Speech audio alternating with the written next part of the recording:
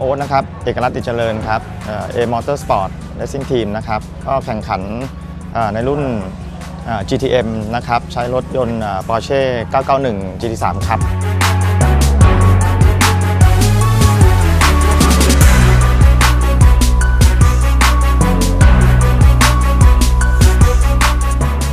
สำหรับการคุริฟายในวันนี้นะครับ สนามที่ 5 ก็คุริฟายมาอันดับที่ 7 นะครับครับสำหรับใน เรสที่ 4 นะครับคุริฟายมาอันดับที่ 8 นะครับ ก็จบการแข่งขันในอันดับที่ 8 ก็สำหรับวันนี้ก็คงจะพยายามทำให้ดีที่สุดนะครับครับสำหรับความพร้อมในวันนี้ก็ทุกอย่างพร้อมนะครับ ตัวรถก็โอเคนะฮะสมบูรณ์ดีทุกอย่างนะครับสำหรับตัวผมเองก็วันนี้ก็พร้อมครับ ก็ยังไงก็ ต้องลองติดตามชมดูครับว่าอ่าผลการแข่งขันในวันนี้จะเป็นยังไงครับ ยังไงฝากอ่าติดตามเชียร์ด้วยนะครับอ่าเบอร์ 11 นะครับ A Motorsport ครับ ขอบคุณครับ สวัสดีนะครับเป็นอาราฝักครับทีมพัฒนาพัฒนานะครับผมก็รถที่ใช้แข่งขันครับ KTM X GTO by Writer Engineering นั่นเองครับผม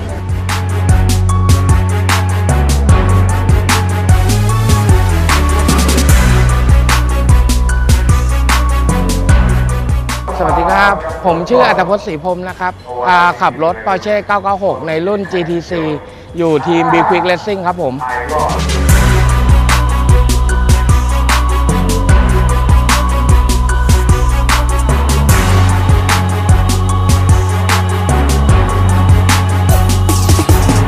ก็ในส่วนของปีที่แล้วนะครับ ขับเป็นรุ่น Super Eco นะครับ แล้วก็ในปีนี้ก็ได้เปลี่ยนคาร์ดขึ้นมาเป็น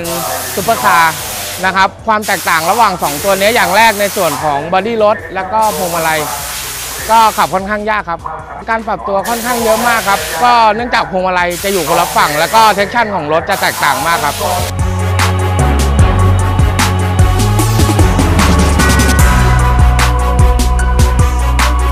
ครับ รถคันนี้เราวิ่งในการซุปเปอร์คาร์ในรุ่นคลาส GTC นะครับ เป็นรถ KTM ที่มี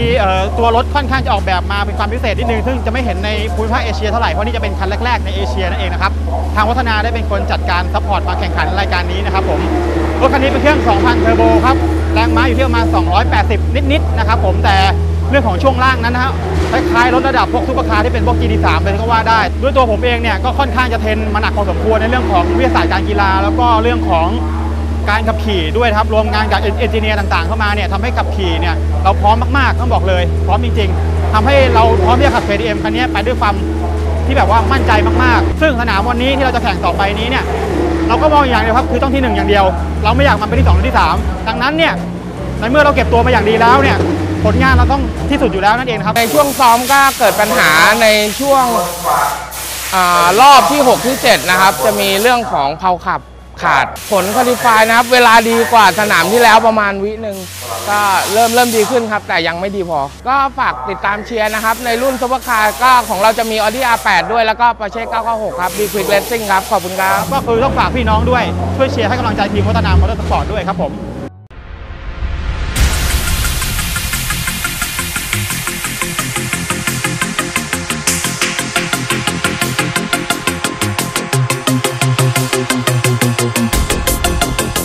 ดูรุ่นใหญ่สุดกันบ้างครับคู่โตต้านะครับก็ยังยืนหัวหาดนะครับยึดหัวหาดอยู่ครับนัทพงศ์หอทองคำนัทพุทธเจริญสุขวัฒนาครับจากโตต้าทีมไทยแลนด์ครับอันดับที่ 3 สรันครับโต้งครับ อันดับทีสี่4 เจ้าแบงก์กันศักดิ์แล้วก็อันดับที่ 5 เฮงเจกิกครับ Rolling Start เหมือนเดิมไปแล้วครับ กดคันเร่งกันไปครับกลุ่ม GTM ครับกลุ่มรถแรง แรงที่สุดในประเทศไทยนะครับตอนนี้เวลาเร็วที่สุดเลยครับกับรถในกลุ่มนี้ และนี่คือ GTC ครับเอสนาศักต้นมนัทพีทองเจืออืกลุ่มนี้น่าสนใจนะครับจริงๆแล้วเนี่ยเนื่องจากว่ามีรถที่หลากหลายนะครับไม่ว่าจะเป็น RX8 นะครับของพีทหรือว่า KTM นะครับของเจ้าเอสนาศักนะครับจากพัฒนาออโตสปอร์ต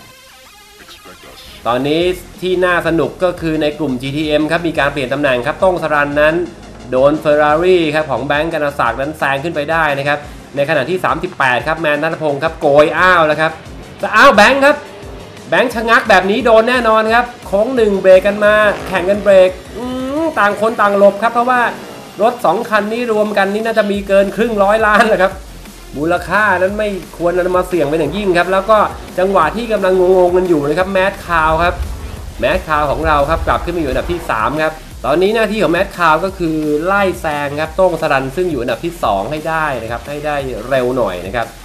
ส่วนเจ้าแบงค์ครับหลังจากร้อนแรงในช่วงแรกนะครับกลับลงไปตอนนี้ลงไปป้วนเปี้ยนอยู่กับนี่ครับออดี้ R8 ครับหมายเลข 26 ครับของเทงเจกิกนะครับเป็นที่เรียบร้อย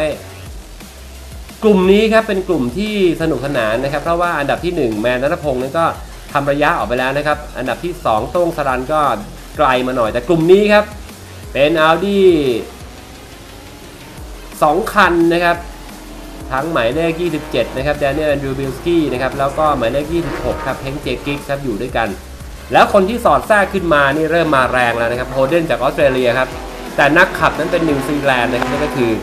Craig Corliss ครับ มาแล้วฮะ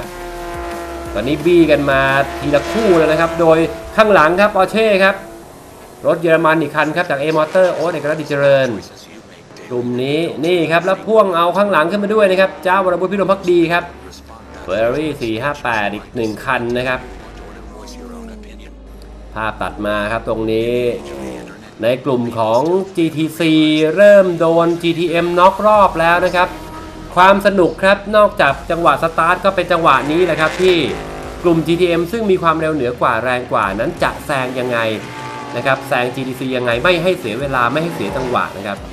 ตอนนี้โต้งเลยก็เห็นนะครับเห็นหมายเลข38 ครับโตโยต้าทีมไทยแลนด์ครับแมนนัทพงศ์เห็นอยู่ไกลๆนะครับโต้งสรันนี่ก็พยายามครับพยายามผ่านกลุ่ม GTC ให้เร็วที่สุดครับมาแล้วครับถึงคิวของแบงค์แล้วก็เฮงนะครับ มาถึงตรงนี้ อ้าวสีเขียวๆ i8 คันนี้ครับ พระเอกรูปหล่อครับ พีทธนพลทองเจือ หลบให้เลยครับอ่าหลบให้กลุ่ม GTM เลยนะครับอ่าเกมของพี่พี่เล่นไปต่อเลย ผมก็มีเกมของผมอยู่นะครับ เพราะว่าตอนนี้พีทนะครับหนี evo 10นะครับข้างหลังของประทีปจันประเสริฐครับ ยังหนีอยู่นะครับโอ้ยหนีกระเด็นออกไปข้างนอกนู้นแหละครับท่านผู้ชมครับ แล้วตรงนี้ครับ 34 ครับแบงค์ครับกดคันเร่งเต็ม เบรกหนักที่โค้ง T3 เดินคันเร่งนะครับ วิ่งเข้าไปหาโค้ง T4 โดยมีเฮงเจกิกนะครับไล่บี้ตามขึ้นไปครับ แล้ว Craig Corliss มาแล้วท่านผู้ชมครับ เกมจะเปลี่ยนหรือเปล่า Craig Corliss นี่ต้องบอกครับว่ารถ V8 โอ้โหเลี้ยวทีนี่ล้อหน้าซ้ายลอยเลยครับท่านผู้ชม ดูฮะเลี้ยวซ้ายล้อหน้าซ้ายลอยเลี้ยวขวาล้อหน้าขวาลอยแม่เราไม่ค่อยได้เห็นภาพแบบนี้นะครับจากรถในรุ่นอื่นนะครับ เอาแล้วครับเจ้าแบงค์ครับ เจ้าแบงค์ครับมีปัญหานะครับ เพราะว่าตอนนี้เฮงเจกิกนั้นก็บี้จนติดท้ายแล้วนะครับ แล้วอ้าวแล้วไม่ไม่จบไปอีกหนึ่งคันครับ 19 ครับ สุทธิพงศ์สมิทธชาติครับแหมอาโต้ครับอาโต้ขับในรุ่น GT4 นะครับแหมไปจอดอยู่บนหญ้าซะแล้ว ตอนนี้ครับกลายเป็นสามเส้าแล้วครับแบงค์เฮงนะครับแล้วก็ Craig Corliss ครับอยู่ด้วยกันครับ ช่วงชิงอันดับที่ 4 และที่ 5 ครับ เฮงยังไงเสียบโค้ง T5 ไม่ได้ครับ Craig Corliss ต้องบอกครับว่ารถ V8 ของเขาเนี่ยนะครับยิ่งวิ่งจะยิ่งเร็วขึ้นครับเพราะว่าน้ำมันนั้นถูกเผาผลาญไปครับน้ำหนักรถก็จะเบาลงครับและเมื่อรถเขาเบาลงครับความเร็วมากขึ้นตอนนี้เข้ามาแล้วนะครับจังหวะสตาร์ทยังไม่เห็นแต่ว่าจังหวะนี้ครับพลังขุมพลัง V8 Super Car นะครับรถแข่งในออสเตรเลียนี่ก็เริ่มครับเริ่มแผลงฤทธิ์แล้วนะครับตอนนี้เฮงเจกิกครับต้อง แทนที่จะได้ไล่บี้แบงค์กันศักนะครับ ตอนนี้ก็มากัน Craig Corliss ซึ่งอยู่ข้างหลังแทนครับ แต่ว่าเฮงมีเพื่อนมาช่วยครับ นั่นก็คือด a น i e l แอนดรูบิลสกี้ครับ อยู่ข้างหลังครับหมายเลข27นั่นแหละครับออดี้อีกหนึ่งคัน 37 ต้นมานัดนี่วิ่งคนละรุ่นนะครับแหมเจ้าต้นนี่กลัวครับวิ่งหนีข้างนอกเลยดีกว่าT3 ไม่ค่อยอยากเสี่ยงครับ เอาไปวิ่งบน run-off area กันเลยทีเดียว มาแล้วฮะ 88 88 Craig Corliss ครับ ใช้พลัง โอ้โห ดูท่านผู้ชมครับ กดคันเร่งนี่แซงขึ้นแบบ นี่แซงเอัลดี้ขึ้นไปนี่แซงเหมือนรถคนละรุ่นเลยนะครับขณะที่วิ่งรุ่นเดียวกันนะครับอย่างที่บอกไปครับพอรถเบาขึ้นนะครับพละกำลังเครื่องยนต์ของ V8 พวกนี้เริ่มสำแดงเดชครับ รอบหลังๆเร็วขึ้นเร็วขึ้นเรื่อยๆนะฮะไปแล้วครับ ตอนนี้กลายเป็นว่ากลุ่มที่น่าสนใจครับคือกลุ่มนี้ครับมี Craig Corliss มีเฮงเจกิกนะครับแล้วก็แดเนียลนะครับ สามฝรั่งเลยนะครับที่มาแข่งอยู่ในเมืองไทยนะครับ โดยมีโอ๊ตเอกรัตน์ดิเจริญครับตามดูห่างๆ ดูว่าถ้าข้างหน้าพลาดนี่พร้อมขึ้นโพเดียมเหมือนกันนะครับเพราะว่าตรงนี้ครับเป็นการชิงตำแหน่งสุดท้ายบนโพเดียมนะครับอันดับที่ 5 เอาแล้วครับ กลายเป็นว่า Craig Corliss นั้นผ่านขึ้นไปได้ครับ2ทีมเมทจาก b ีควิกเรซิ่งทีมครับต้องมาเจอกันเองครับ 27นำ26 ตาม88บอกไอไปก่อนแล้วข้างหน้าของไอคือแบงก์กันตศักดิ์ นี่ครับอื้อหือเลี้ยวล้อยกเลี้ยวล้อยก อือหือโค้งที่เป็นโค้งเบรกหนักโค้งแคบๆนะครับความได้เปรียบของอาดี้นี่ก็ทำให้ไล่ V8 ขึ้นมาได้นะครับ แต่พอช่วงชูทางตรงครับ V8 จะแซงกลับขึ้นไปครับ เป็นอย่างนี้เกือบทุกรอบท่านผู้ชมครับ แล้วตอนนี้ V8 นะครับ อยู่กลางเขาเรียกว่าคู่ระหว่าง b q Racing อีกครั้งหนึ่งครับได้ดูเหมือนแผ่วๆไปนิดนึงนะครับ รถของเฟรดคอลลิสนะครับ ไม่รู้มีปัญหาอะไรหรือเปล่า เฮงเจกิกครับตามดูครับเอ้ยหลุดออกไปแล้วครับ ถ้าเป็นแบบนี้ไม่แน่ใจนะครับว่าเบรกลึกไปเอง หรือว่ามีปัญหาระบบเบรกนะครับท่านผู้ชม โดนยืดแล้วครับ ตอนนี้ 27 ยืดออกไป 26 ก็ยืดระยะมาได้นิดนึงนะครับเครกครับเครกรถเริ่มอ้าวจอดไปแล้วครับรถของพีทนะครับ โอ้โห มีปัญหาเหมือนกันครับ รถพวกนี้ครับพอวิ่งหลาย ๆ รอบเยอะนะครับ เพราะว่าในรุ่น GTM GTC เน้นจำนวนรอบนั้นเยอะกว่ารุ่นอื่นนะครับ เพราะแน่นอนครับไฮไลท์ของการแข่งขันคือรุ่นนี้ครับพละกำลังก็อยู่ที่รุ่นนี้เอาแล้วครับโต้งสรันครับ Lamborghini Huracan ครับหมายเลขข้า15 นั้น เห็นแล้วครับว่าข้างหน้าของเขานัทพงศ์ฮอทองคำนั้นจริงๆนะนัทพงศ์ฮอทองคำไม่ได้ช้าลงนะครับ แต่โต้งสรันอาจจะเร็วขึ้นนะครับ เริ่มใกล้ขึ้นใกล้ขึ้นแล้วนะครับอื้อหือเนี่ย ขับไปแก้ไปครับ มือขยับตลอดครับ เจ้าแมนนัทพงศ์ฮอทองคำจาก Toyota Team Thailand หนีสุดชีวิตครับ เพื่อการเป็น double แชมป์นะครับ เพราะว่าใน race ก่อนหน้านี้เขาคว้าแชมป์ไปได้แล้วนะครับ แล้ว race นี้จะเป็นยังไง ออกมานะครับผ่านเส้นเรียบร้อยครับ รับธงหมากรุกไปนะครับ อันดับที่ 1 ก็ตกเป็นของ Toyota Team Thailand ครับหมายเลข38นัทพงศ์ฮอทองคำอันดับที่ 2 ครับ Racing Spirit คอรมอคนรักเมียครับ นั่นก็คือโต้งสรันครับอันดับที่ 3 แมทคาวของเราครับนัทบุญเจริญสุขพัฒนา Toyota Team Thailand อันดับที่ 4 ครับแบงค์กนาศักดิ์และอันดับที่ 5 ปิดท้ายครับด a น i e l แอนดรู w บิลกี้ครับจาก B Quick Racing Team ในรุ่น GTC นะครับก็แน่นอนครับอันดับทีหนึ่1 ครับเอสนาราศักดิ์ครับอันดับที่ 2 นั้นก็เป็นของต้นมนัสและอันดับที่ 3 นะครับ นั่นก็เป็นของสนธยาคุณปลื้มนั่นเองครับ